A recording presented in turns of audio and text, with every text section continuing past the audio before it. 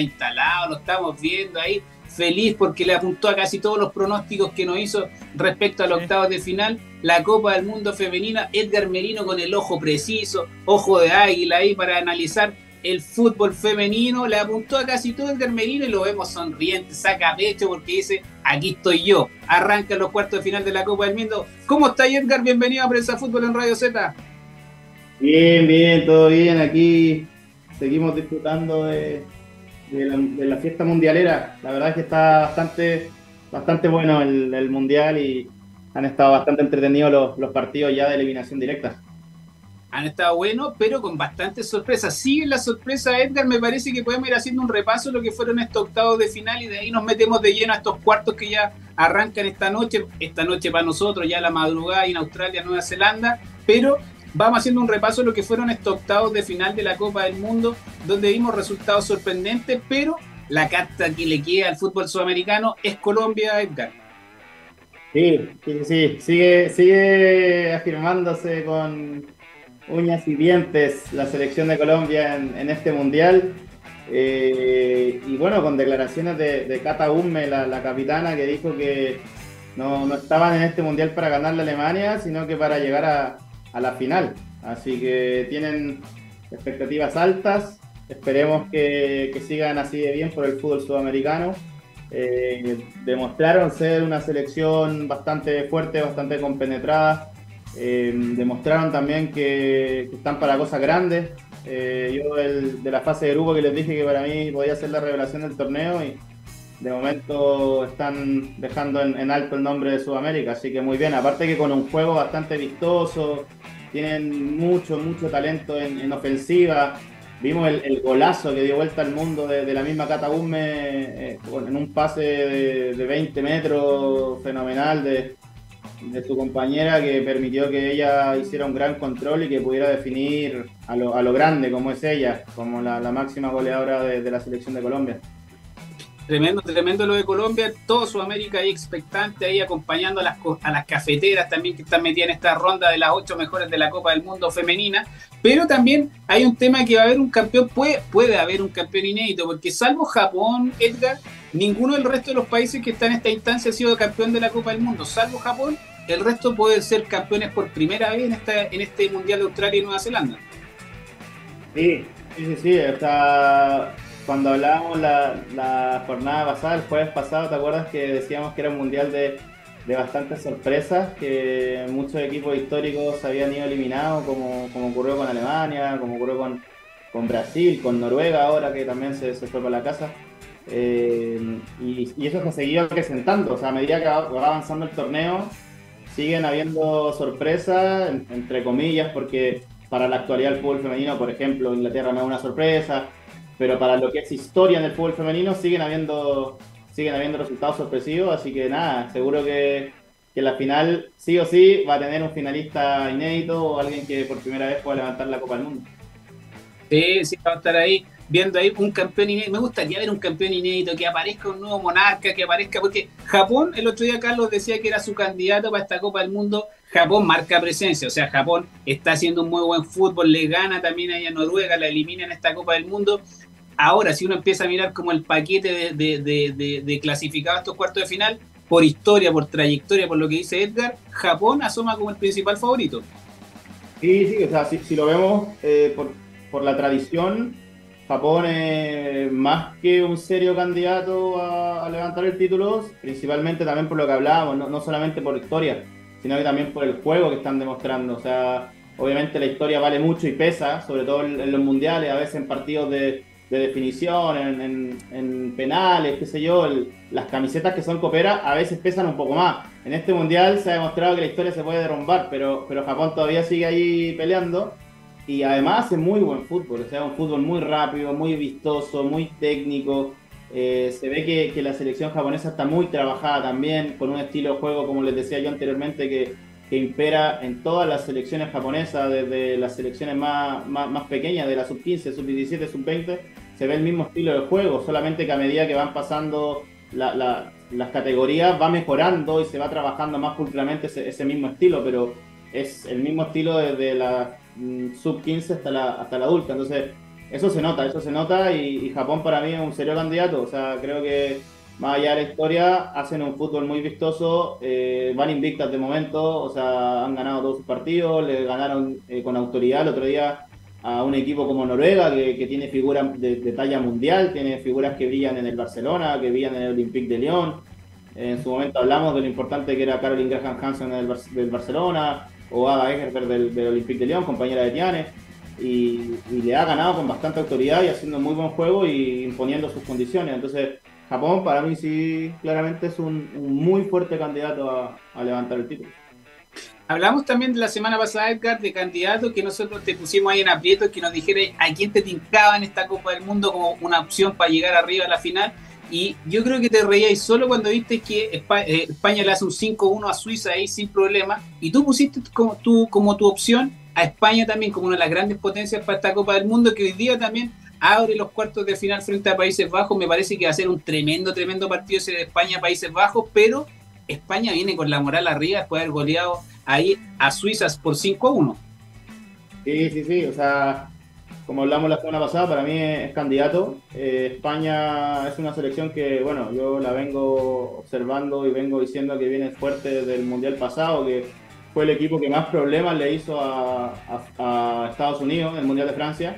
Estuvieron a punto, a punto, a punto de dejar eliminado a Estados Unidos. Estados Unidos le dio vuelta al partido, que, finalmente con, dos penales del VAR en ese momento, que eran penalitos muy discutibles, eh, finalmente Estados Unidos ganó ese partido. Entonces España ya se, ya se fue con, con esa sensación de que quizás podrían haber hecho algo más y estos años es un país que se ha preparado muy bien a nivel de selecciones, que ha sido campeón europeo, ha sido campeón mundial en, categorías menores, en sub-20, en sub-17, eh, y todo ese fútbol lo están traspasando a, la selección adulta, que era la gran deuda de España en cuanto a selecciones femeninas, porque como te digo, en selecciones de categorías menores de fútbol formativo, siempre España lleva años eh, siendo campeona de, varios torneos, como digo, tanto europeos como de campeonatos mundiales o llegando a finales.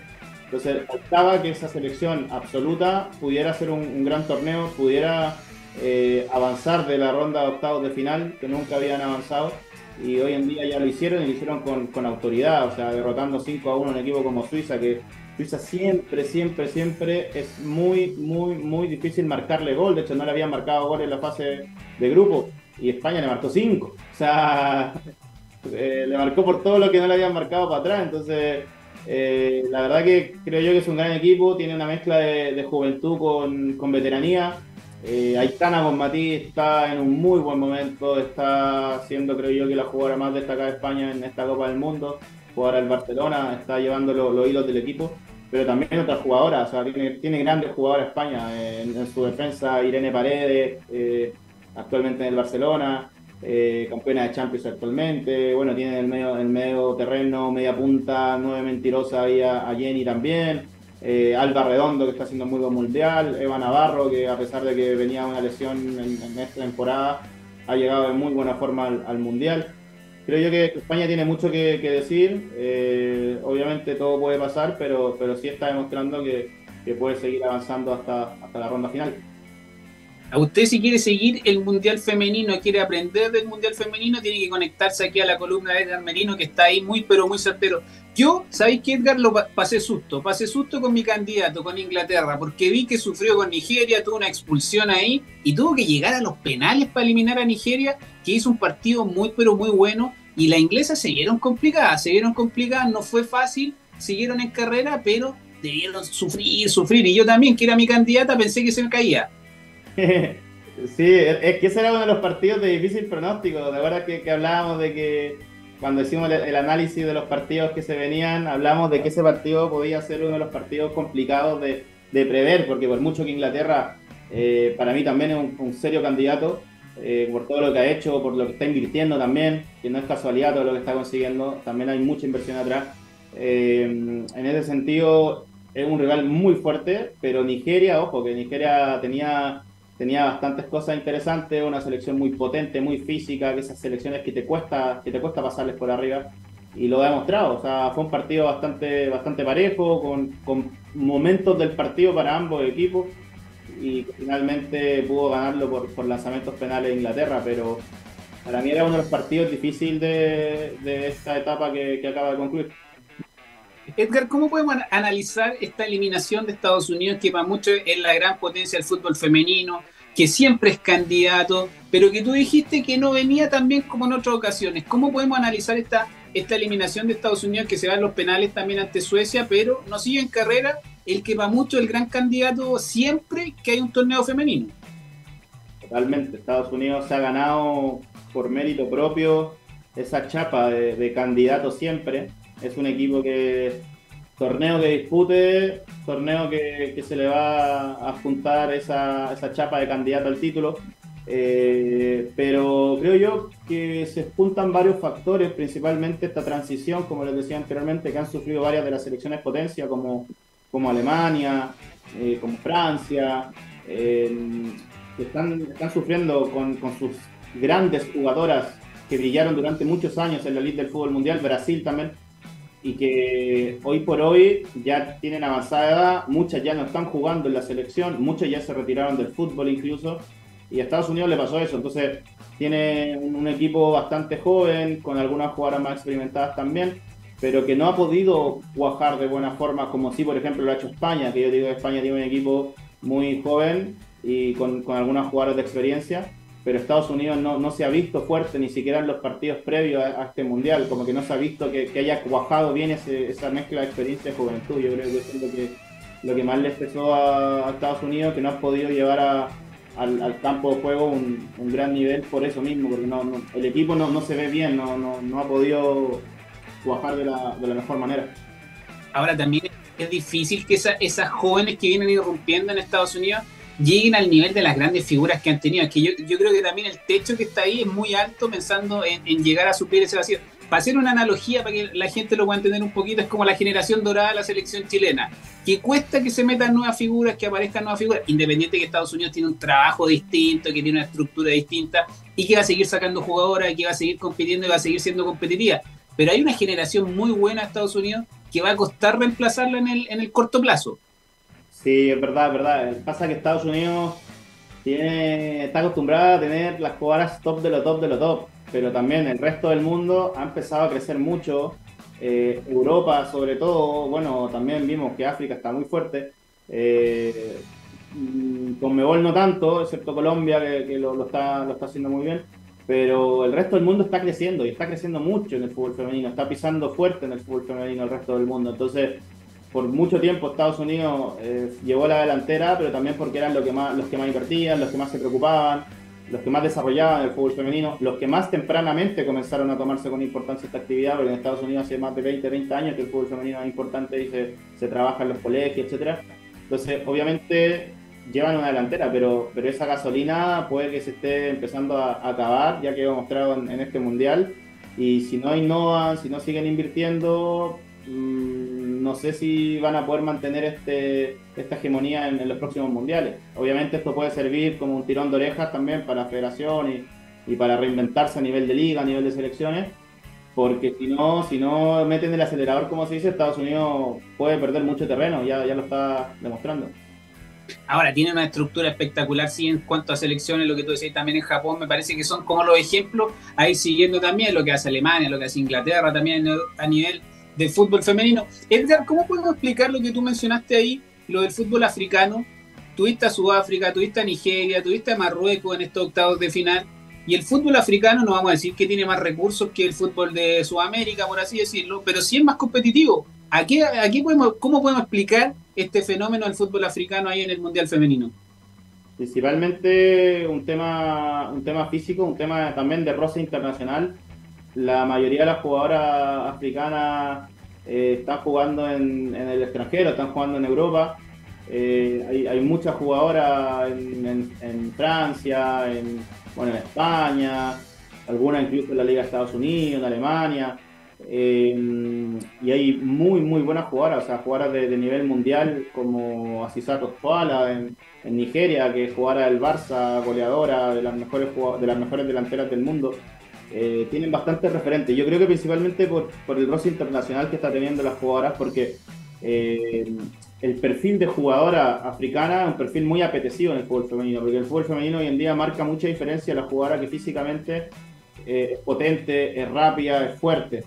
Y la mayoría de las jugadoras de, África, de, ese continente, reúnen esas características. Entonces, eh, ese perfil físico potente, fuerte, fuerte y rápido que, tienen, marca diferencia y se notó en este mundial. O sea, sin, sin tener una inversión atrás, sin tener eh, grandes recursos, les bastó para, para, brillar en muchos casos. Eh, en, gran medida por, por, esta calidad que tienen las jugadoras y este biotipo físico que tienen. Edgar, mira, mira, siempre llevándolo al fútbol chileno, que a mí siempre la, la preocupación que tenemos acá en Prensa Fútbol en Radio Z, tú hablas del roce internacional, obviamente eso se puede mejorar jugando más amistoso, teniendo más competencia, teniendo a los mejores profesionales en el fútbol chileno, pero también es importante la búsqueda del biotipo físico, porque lo estamos viendo ahí con las africanas, como tú dices, que marcan diferencias físicas, las mismas jugadoras europeas, hay que empezar a preocuparse también de, de mejorar el biotipo de la futbolista chilena. Sí, es muy importante, o sea por ahí hay gente que dice que no, que, siempre va a importar más el que, es bueno para la pelotita. Claramente, siempre el que es bueno para, el fútbol eh, va a marcar diferencias, pero ya, ya no basta solamente con eso. Pasa en el fútbol masculino, que, hoy en día si no eres un atleta, si no eres un jugador que, que puede correrte 11, 12, 13 kilómetros en un partido, muy probablemente ya no brilles como brillaban hace 10 años, 15 años, 20, 30 años jugadores que técnicamente eran muy ricos, pero que en ese momento no se exigía tanta intensidad en el juego. Hoy en día sí, y en el fútbol femenino eso está llegando también. Eh, yo pensé que quizás iba a tardar más eso y que iba a ser, iba a ser más prolongado en el tiempo eh, esa, esa diferencia de calidad, pero ya no está ocurriendo, ya se, ya se está notando que las jugadoras físicamente potente, en el fútbol femenino están marcando una diferencia tal cual pasó en el masculino. Entonces, la forma de poder equiparar eso es que en todos los países también se empiecen a preocupar del biotipo, como, como ocurrió en el masculino, que hoy en día las fuerzas son mucho más parejas en ese sentido. Entonces, obviamente una de, las formas es eso, el proceso de selección del talento, de tratar de encontrar jugadoras que tengan un mejor biotipo, que, que tengan condiciones físicas quizás mm, por genética, eh, y que se puedan también, eh, todo eso se pueda eh, convalidar o se pueda cohesionar con el entrenamiento. Al final, una jugadora que quizás no viene dotada de una genética privilegiada, sí puede crecer muchísimo con un buen entrenamiento y para eso se necesitan buenos entrenadores, buenos nutricionistas, buenos preparadores físicos, un buen psicólogo. Para eso ya vale el, el, staff que tengamos en cada selección o en cada club, etcétera pero, pero obviamente si hay jugadoras que vienen privilegiadas genéticamente con un buen biotipo, ese tipo de jugadoras debería tratar de invitarlas a que, a que puedan ser parte del fútbol femenino.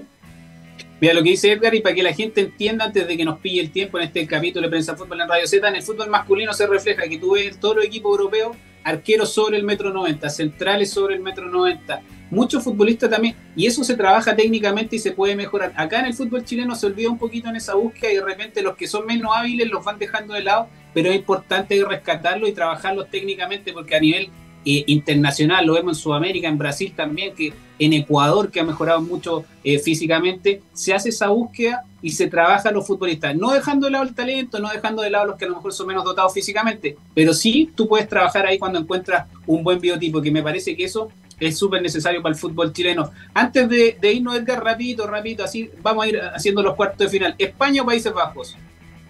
Eh, España. ¿Japón o Suecia? Japón. ¿Australia o Francia? Uy, este partido es de pronóstico reservado porque las locales siempre son poderosas. Como hablábamos que tenían que llegar a semifinales, ¿te acuerdas? Sí. Eh, eh, y Francia no viene tan bien. Uy, me la juego por Australia. Los locales. Australia, la FIFA lo dejará en semifinal y después en el partido por el tercer lugar. Inglaterra, Colombia, Edgar. Aquí el, corazón me puede, me puede traer porque la lógica diría que, Inglaterra, pero el corazón me dice que, Colombia, porque quiero que pase Colombia por un tema de fútbol femenino sudamericano, de la Conmebol, del impulso que puede significar tener un, un semifinalista del continente. Eh, a ver, me la, me la juego por Colombia por un tema de corazón más que nada. Mira, mira. Juguemos la Colombia. Yo, yo, yo voy a jugar contra mi candidata, pero si pasa Colombia también voy a estar contento. ¿Y sabéis dónde quiero jugar también, Edgar? en experto.cl, ahí donde la gente apuesta desde 500 pesos en experto.cl, en la aplicación mobile y en todas las agencias de polla. Por ejemplo, te voy a recomendar el partido único donde arranca la Premier League. Chelsea contra Liverpool este domingo juegan a partir de las 11.30 horas. Tú le pones 10 luquitas al empate y lo multiplicas por 3.05. O sea, te puedes ganar 30 luquitas fácil si apuestas 10 luquitas ahí al Chelsea Liverpool. Vaya y revise toda la cartelera de expertos. Los partidos con camarita los puedes ver por streaming, así que está toda la cartelera. Los factores van cambiando a medida que avanza el partido, los goles que se van poniendo en el partido. Así que todo eso usted lo encuentra en experto.cl ahí apostando como siempre desde 500 pesos y con experto juegue. Edgar Merino, te agradecemos esta columna de fútbol femenino certera y siempre el que más sabe del fútbol femenino está aquí en Prensa Fútbol en Radio Z. Edgar Merino, un abrazo grande, que esté muy bien. Abrazo, nos vemos el próximo jueves.